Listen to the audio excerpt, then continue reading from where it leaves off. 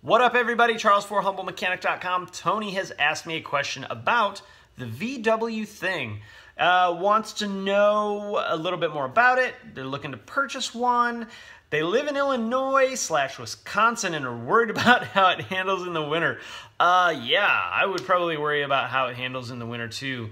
Um, it's capable, but boy, what a not fun car uh, to have to schlub to work when it's a blizzard in February in northern Illinois. So, um, underpowered, very little heat, not comfortable to be in.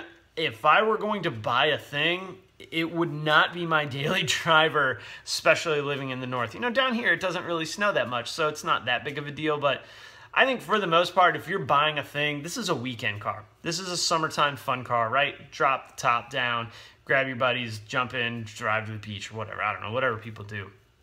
Awesome car. I think they're super cool. You can still find them in pretty good condition. If I were going to buy one, I would look to get one from California, maybe Florida, maybe Arizona, Texas, that kind of place. I would not want one from Illinois or Wisconsin. No offense, I grew up in Illinois, so I understand what cars that are, you know, decades old kind of look like unless they've been restored or or garage kept. But if you're looking for a car to drive around all the time, I would not really recommend a Volkswagen thing. Don't think that's me saying, guys, that I hate the Volkswagen thing. I like them. I think they're awesome. But boy, I don't know if I'd really want to drive one uh, in the condition that I mentioned a few minutes ago. So if you're looking for one, really have the mindset of this is going to be a spare car, a weekend car, summertime car, not really a drive to work at 6 a.m. in the wintertime car. And that would be where my mindset would be. So I know there's probably a lot of you guys are like, Charles, I drive mine all year round and it's awesome. That's great.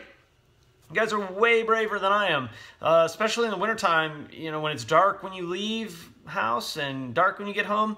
I want to get in my car and just get to work. I don't want to have to fight with anything or worry about being stranded or any of that kind of stuff. You know, I, I really sympathize for you guys that have to worry about that.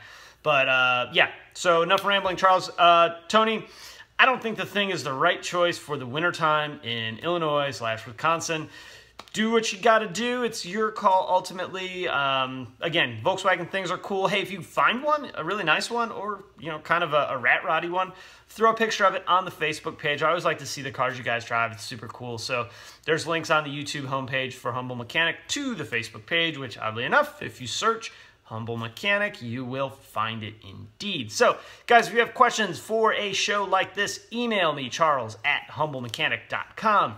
Question for Charles in the subject ask the question at the top, mash the enter button a few times, and then give me the details that helps me answer these questions considerably faster. Tony, awesome job on asking that question. So, all right, guys, thanks for watching, and I will see you next time.